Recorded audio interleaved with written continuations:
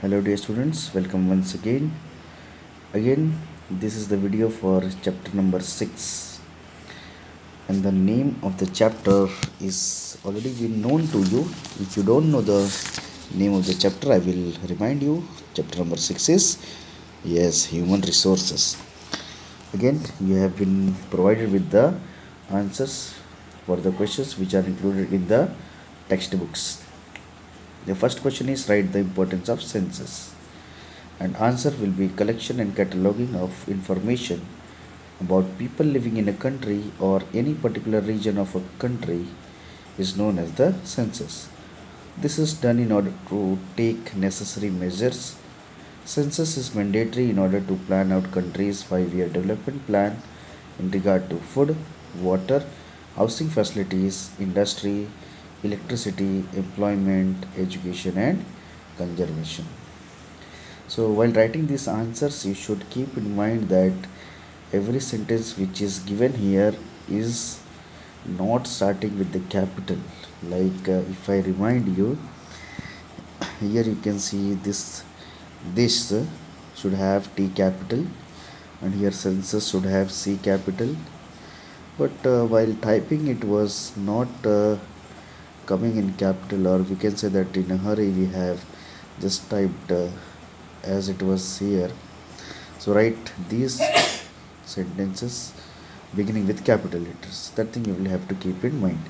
Grammatical mistakes must be avoided here in the video and you should write it in a proper way in your notebooks. Let us continue with the second question.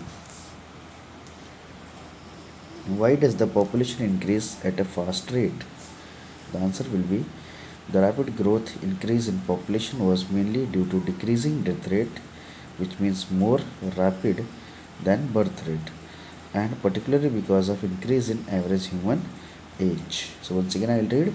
The rapid growth increase in population was mainly due to decreasing death rate. So i think you should avoid writing this. You just cancel this one. No need to write this word and after that you can continue. And particularly because of increase in average human age. Avoid writing this particular word.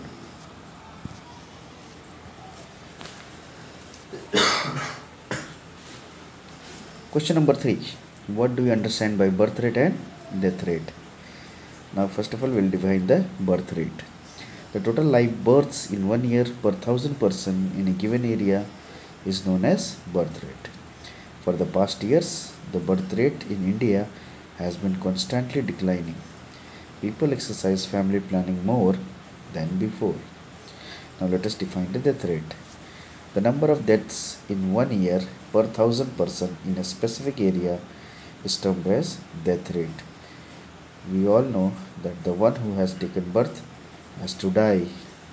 Hence, the death rate can never be zero. Let us go to the next question. The question is define population density.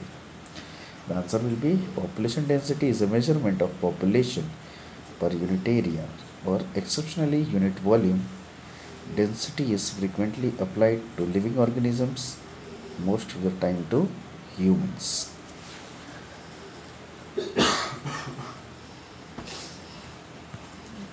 Question number 5 What do we understand by migration?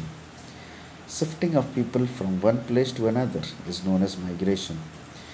People indulge into a range of activities in order to earn and develop. Socio cultural needs also compel people for migration. So that's all. These are the answers for the questions in short.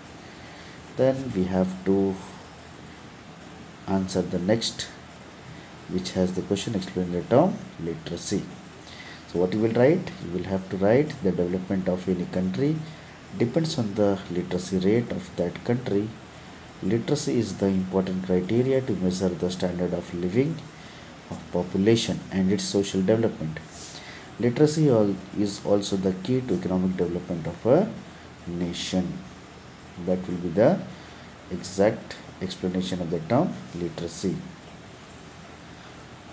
Now explain the term age structure. Let us answer it. the total population of a nation comprises of three age groups that is children, adult and senior citizens. Among the above three groups, maximum and the most important difference is seen in the first and third group. And also you will have to make this table which is already given in the book. So copy from there.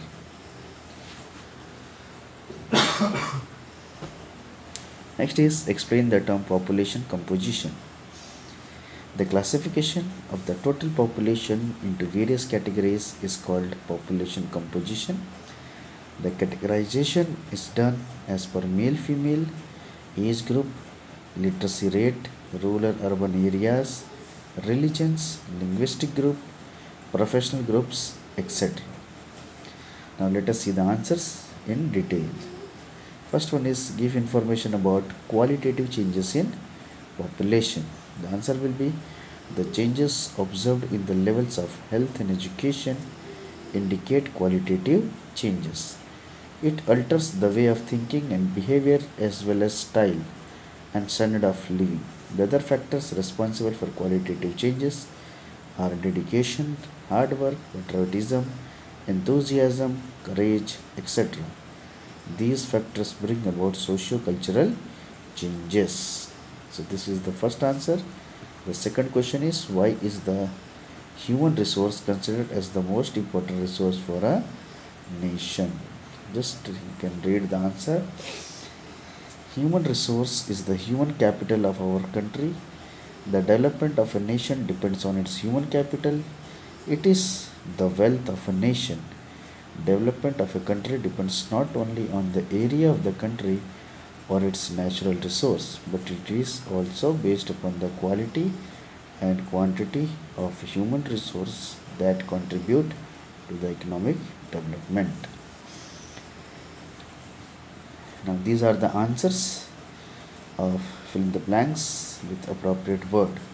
It is given in the textbook in on page number 51 first answer will be 382 percent per square kilometer. The second answer is the word itself second. Third one is hindu fourth one is 918 and fifth one is 16 percentage